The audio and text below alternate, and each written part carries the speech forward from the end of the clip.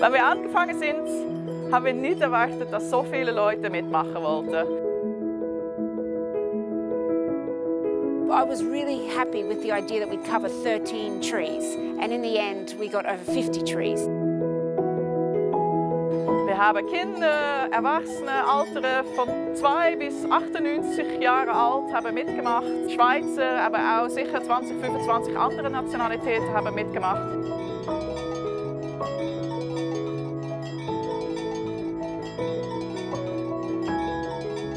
We estimated that when people registered, they might make one or two squares, but sometimes we were receiving a bag full of 20 squares.